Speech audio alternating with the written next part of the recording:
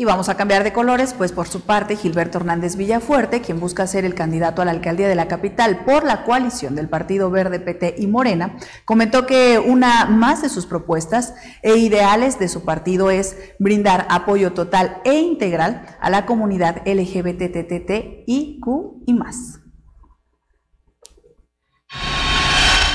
Yo siempre he sido muy respetuoso de la comunidad, este, de sus derechos, de hoy de manifestar su, su posición.